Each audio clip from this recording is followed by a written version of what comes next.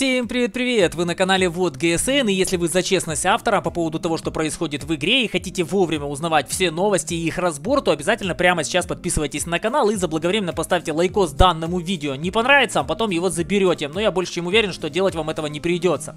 Буквально пару минут назад разработчики выложили рулеточку на объект 452К, и можно сказать, это первое появление машины на продаже. Почему на продаже? Потому что по большому счету, если вы полностью всю рулетку прокрутите, то за максимальную цену в любом случае заберете себе объекта 452К. Что касается объекта, абсолютно честный обзор на данную машину я сделал, и он вышел как только машина появилась в игре. Ровно как и на любые другие машины, подобные обзоры будут выходить в день выхода тачек, буквально через пару минут после того, как машины появляются в магазине, либо в контейнерах. Поэтому, если хотите посмотреть абсолютно честный обзорчик, переходите по ссылочке, которая есть в описании к данному видео. Что касается рулетки, покрутим эту рулетку у меня на не основном аккаунте, потому что на основе данная машина у меня есть. Что касается стоимости прокрутов, если вы прокрутите до 13 прокрута включительно, то рулетка обойдется вам в 14 тысяч 80 голды, ну, грубо говоря, 14 тысяч. И я считаю, что за 14 тысяч, с учетом того, что вы там каких-то еще плюшек себе понасобираете, и может даже если из контейнера ничего не выпадет, в целом для этой машины 14 косарей это приемлемо нормально, поскольку это коллекционная девятка. Если прокрутите 14 раз, то тогда уже рулетка вам обойдется в 17 400. 15 раз прокрутите и уже 21 310. Ну а если прям полностью всю рулетку будете прокручивать для того, чтобы гарантированно эту машину себе забрать, то целых 24 310. И я лично считаю, что для данной машины, если вам из вот этих контейнеров ничего не выпадет, не выпадет какая-нибудь голда, которая там вернется немножечко кэшбэком вам в золотую копилку, то тогда действительно очень дорого. Если отсюда что-то еще заберете, ну тогда уже будете сами считать на калькуляторе, выгодно это было или нет. Ну что, давайте начинать крутить. Покрутим, перейдем на основной аккаунт. Даже если машина выпадет, в чем я лично сомневаюсь, то все равно перейдем на основу, потому что там машина у меня уже, в принципе, есть и полностью настроенная. Итак, выпадает X10 в количестве трех штучек. Следующий прокрут на 100 голды. Ну, давайте, удивите меня чем-нибудь хорошим. Хотя я сомневаюсь, есть целых три слота по, 1000, по, по 100 тысяч серебром, простите. И я не считаю, что это прям какая-то прибавка к жалованию, потому что 100 тысяч серебром это два боя удачных, нормальных на какой-нибудь фармящей восьмерке. Поэтому ценностью особо и не считаю, ровно как и анимированный аватар. Еще раз выпадают кредиты, крутим на 330. Ну, дайте хоть контейнер, я не знаю. Ну, давайте. О, контейнер, мистический. Ну что, открываем, глядишь, сейчас тачку еще какую-нибудь достану себе. Ну, шиш с маслом, понятное дело. 50 тысяч кредитов и сертификат на свободку. Крутим еще. Ну, давай. Давай машину, объект сразу мне вот так вот ляп и все. Нет, э, черный, да? Собери их все. Соберу. Все, не все, хоть кого-нибудь соберу отсюда. Вау! Вау! Су! Су-85И. Это интересно, ребят. Ну, стоимость машины, грубо говоря, тысячи три точно. Правда, в составе набора какого-нибудь. Но в любом случае, уже неплохо. В целом, ребят, давайте теперь посмотрим, что у нас получается. Я прокрутил. Сейчас у меня, я на шестом прокруте нахожусь. И за вот эту вот сумму, сколько тут получается, чуть более тысячи голды, я забрал себе премиумную сушку. Я считаю, что пока в целом довольно-таки неплохо. Едем дальше. Давайте еще крутанем. Есть еще один «Собери их все». Хотя я сомневаюсь, что он два раза выпадет. Есть еще один мистики, есть еще два кон... Так. Еще сотка. Ну, сотки закончились, уже хорошо. Тогда, скорее всего, будет анимированный аватар. И вот, наверное, после этого прокрута я останавливаюсь, потому что не вижу смысла дальше сливать. Тогда мне сушка, которая мне выпала, обойдется, ну, очень дорого. Собери их все еще один. А, блин, надо было нажать открыть. Переходим к контейнерам. Разное. Ну и открываем. Что тут у нас? Будет еще одна машина? Ну нет, понятное дело, никакой еще одной машины отсюда не выпадет однозначно. В принципе, я-то и не сомневался в этом.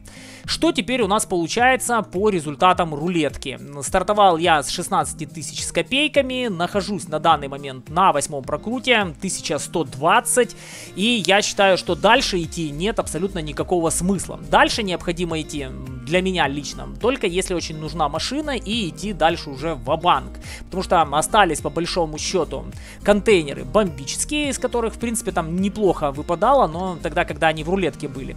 Один мистический остался, ну и осталось два контейнера советских, э, из которых может выпасть что-нибудь из танков СССР. Есть два обвеса, но мне они не нужны, я не сильно ценностью их считаю, по крайней мере на этом аккаунте уж точно. Я лучше приберегу голду для того, чтобы покрутить в следующий раз рулеточку специально для вас, ну а пока перемещаемся на мою основу и катаемся на объекте 452К. Итак, ребят, основной аккаунт, объект 452К, как я сказал, абсолютно честный обзор на машину на канале уже есть, поэтому заходите по ссылочке в описании, посмотрите его, там есть зацен брони, сравнение с другими машинами. Что касается желающих продать данную машину, то в случае, если она вам выпала из контейнера и вам она не понравилась, точнее не из контейнера, а из рулетки, простите, то тогда сможете продать, как вы видите, за 5000 золотом. Что касается ТТХ по машине, то как обычно обсудим исключительно орудие, остальное будем заценивать в боях боях. Время сведения довольно-таки долговатое, хотя в целом можно к нему привыкнуть. Разброс, я бы сказал, неплохой, при полном сведении орудие довольно точное, даже на дальних расстояниях. Что касается ДПМа, то 2345, который кроется в 460 единицах альфы за один выстрел на базовом снаряде, довольно неплохое пробитие в 246 на базе, и если вдруг не хватает, то можно кумулятивы заряжать на 320, именно поэтому я не ставил себе калиброванные снаряды, и если что, против десяток просто использую использую голдовые снаряды. Что касается времени перезарядки, то многие по поводу этого времени перезарядки плюются, потому что составляет оно, с учетом установленного всего оборудования, амуниции и с учетом того, что стопроцентный экипаж и элитный опыт экипажа на седьмом уровне, у нас получается 11.77. Короче говоря, ребят, действительно долговато, и эта машина не требует спешки абсолютно, точнее она требует от вас спокойной игры. Что касается угла склонения орудия вниз, минус 7. Я бы сказал, что в целом целом играется комфортно. Да, не идеально, да, на многих каких-то неровностях, особенно на высоких каких-то горках, будет существенный дискомфорт, но в целом довольно часто получается где-нибудь пристроиться за какой-нибудь горкой, ну и от башни отыгрывать, а башня здесь имеет просто сумасшедшую приведенку, орудие расположено максимально вверху по отношению к башне, как вы видите. Короче говоря, от башни отыгрывать просто идеально, ну или если где-то становитесь за укрытием, за каким-нибудь типа какого-нибудь полузаваленного дома, там где есть кусок стены, ну или чего-нибудь подобного. Нижний бронелист, вот этот картонный, его все пробивают на ура, поэтому его необходимо постоянно прятать. Ну что, все, что можно обсудить, обсудили, поехали покатаемся. Ну что, поехали, и давайте будем начинать сразу с подвижности. Подвижностью машины вполне себе бодрая, передвигается по карте абсолютно спокойно. Не то чтобы может дать э, кому-то фору, хотя есть машины, которые более бодрые, но в любом случае отставать от своих собратьев тяжелых танков вы не будете однозначно. Что касается того, как необходимо играть на данной машине. Я не супер игрок, я не киберспортсмен, я не супер статист. Я могу поделиться своими впечатлениями и сказать, как я играю на данной тачке. Я никогда не еду самостоятельно, потому что данной машине, как мне кажется, нужна бодрая поддержка союзников. Так как время перезарядки очень долгое, практически 12 секунд, вам эти 12 секунд необходимо каким-то образом пережить. А для того, чтобы их пережить, необходимо, чтобы ваши союзники в это время отвлекали на себя соперников, держали их, ну и, соответственно, давали вам возможность через 12 секунд сделать еще один даст бог позитивный выстрел, ну и, соответственно, нанесете еще 400 единиц урона. Против кого действительно страшно выезжать на данной машине, так это против барабанных машин по типу Эмиля 2 или Эмиля 1 системой дозарядки, потому что когда вы выезжаете лоб в лоб к таким соперникам, вы им даете одну тычку, они вам в ответ дают три тычки, и пока вы перезаряжаетесь, они еще успевают дозарядиться, ну и, соответственно, еще раз вам закинуть. Поэтому вы идете изначально себе в минус в отношении размена по хп. Поэтому развениваться на данной тачке остро не рекомендую.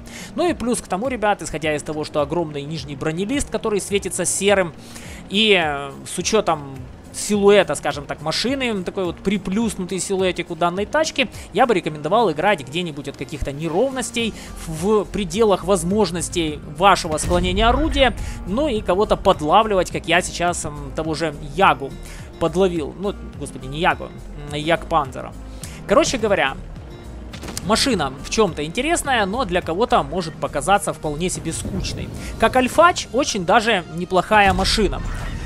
Как э, имба, ну я бы не сказал, что тут имбой хоть как-то пахнет. Э, как видите, долговатое сведение, о котором я говорил. Вот сейчас при полном сведении сделаем выстрел. Уехал. Хотел показать, насколько орудие точное при полном сведении оного. Но давай, наверх, вниз. Куда ты поедешь? Ну поднимайся, поднимайся. Ну, довольно точное орудие. И этим оно мне очень сильно понравилось. Э, вот против нас сейчас есть э, тоже объектик. Как вы видите, с бортов светится полностью серым. Ну и, соответственно, этим можно пользоваться и набрасывать. Выезжать из боя с хорошим настрелом на данной машине абсолютно несложно. Главное помнить по поводу того, что время перезарядки долгое, ну и, соответственно, не рисковать. Чем дольше в бою проживете, тем, соответственно, больше накинете урона. Если бы еще время сведения было более интересным, ну, было бы прям совсем бодрее. Так, выцелю товарища или нет? Но... Вот она, вот она, славная точность данного орудия. Ну, радует меня, серьезно. Я когда снимал обзор на данную машину, э, перед тем, как она официально появилась в игре, и когда я выложил свое видео, огромное количество ребят писали мне по поводу того, что да что ты рассказываешь, это фуфло, вон все обзорщики об этом в один рот, так сказать, кричат по поводу того, что это прям самое негодное, что только можно было придумать. Не знаю, мне понравилось, мне зашло, и свое мнение не меняю. Машина действительно интересная. Просто необходимо понять, в чем ее слабые стороны, ну и, соответственно, эти слабые стороны компенсировать какими-то сильными сторонами данного орудия. В частности, альфа, в частности, точность и довольно-таки неплохая подвижность и маневренность. Плюс к тому, как я уже говорил, довольно неплохие углы приведенной брони в башне и силуэт башни такой, что от башни отыгрывать, ну, сам боженька велел уцелел. Итого, ребят, знак классности второй степени, 4000 единиц нанесенного урона. Что касается фарма, то с учетом того, что это девятка, коллекционка и там коэффициент фарма не такой уж и большой, то понятное дело, что ради фарма данную машину брать себе в ангар смысла нет. В любом случае с премом 68 тысяч округляя и 42 тысячи без прем-аккаунта. Ну, что касается нашей результативности в команде по урону, то, как вы видите, бодрое первое место, просто с мега отрывом от всех союзников, даже от тех, которые заняли, там, допустим, второе место, как наши Миль-2. Ну, в общем, в отношении результативности по настрелу вы можете не переживать на данной тачке. Главное, чтобы вас бодро в начале боя не вынесли в ангар. Ну и, соответственно, для того, чтобы эта возможность у вас была, я имею в виду настреливать, вам необходимо играть вместе со своими союзниками. Как и ранее, крутить рулетку, не крутить рулетку, открывать контейнеры, не открывать контейнеры, это все исключительно ваш выбор. Я никого ни к чему не агитирую считаю, что лучше машины покупать непосредственно с самого магазина. Мое же дело показать все таким, какое оно есть, и вот вам, пожалуйста, объект 452К, такой, каким он есть на самом деле, если играть на нем аккуратно и с головой. И напомню еще раз, я не киберспортсмен, не суперстатист, и моя реальная статистика в районе 53-55%.